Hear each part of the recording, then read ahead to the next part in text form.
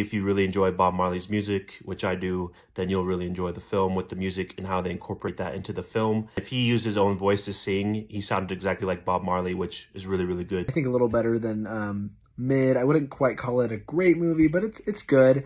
I did have some issues with it. I do feel like it's a movie that, although every scene is actually done pretty well, and I do believe it has really good acting in it, it doesn't really have much to say, and it doesn't have much direction. I feel like it shows just this very small glimpse of his life, and I don't feel like you get to really know why he became what he became. The ending of it, like the second half of the movie is actually pretty freaking good. I would say it all ends actually really satisfying. I liked how it ended, but everything in the beginning, in the middle, was just very kind of rushed, kind of had nothing to really offer or say. What ends up being my problem with a lot of these biopics is that the way that they are told and the way that the story is put together can feel very long. This movie falls into that same category for me. It is not one of my favorite biopics that I've seen. The story and the pacing of it just isn't exactly what I like. Lashana Lynch and Kingsley were amazing. He was a great Bob Marley. There were things that I really liked about this movie, and then there were things that I just didn't care for.